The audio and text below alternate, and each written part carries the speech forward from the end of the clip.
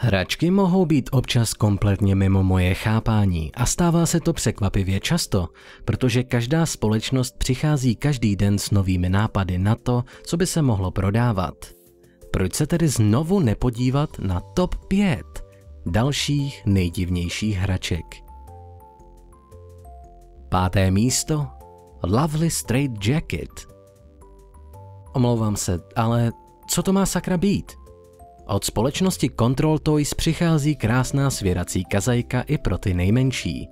Pokud je vašemu dítěti více jak pět let, můžete mu ukázat, jak to vypadá v blázinci, aby si zvyklo na to, kam se dostane, když má rodiče, kteří jsou ochotní upnout svoje dítě tak, aby zabránili jejich pohybu.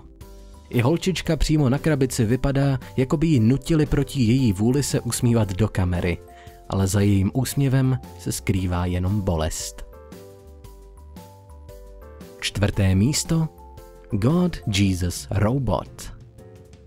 V překladu Bůh Ježíš Robot je japonská hračka z roku 1985, vytvořená společností Bandai, takže se nejedná o vyloženě malou společnost a ani o levnou čínskou hračku, které jsou často známé svým podivným překladem.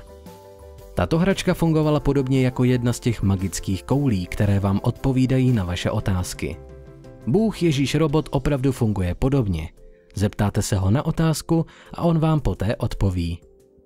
Ale proč? Třetí místo. Hugo, muž tisíce tváří.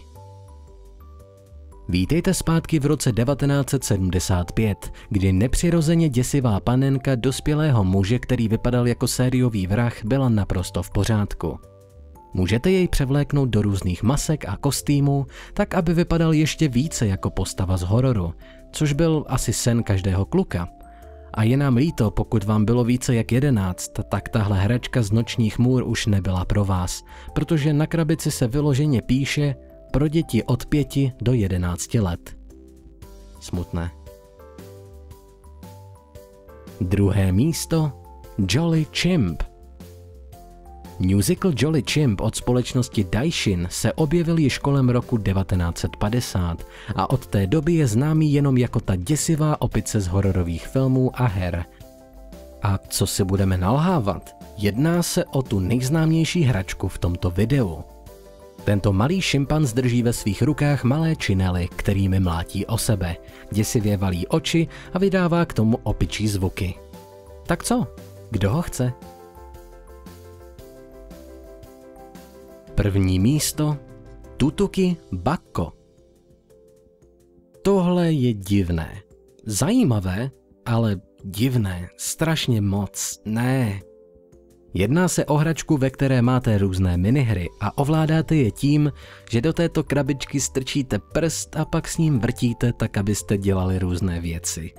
A prostě, eh, já vím, že je to docela cool, co se technického pohledu týče, ale prostě je na tom něco neuvěřitelně nepříjemného, když vidím, jak dospělý člověk strká svůj prst dovnitř a pak tam s ním hrabe sem a tam.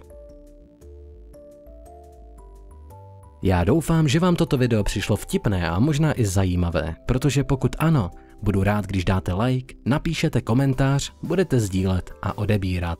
Taktéž můžete zmáčknout ten malý zvoneček, který vás upozorní pokaždé, když vydám nové video.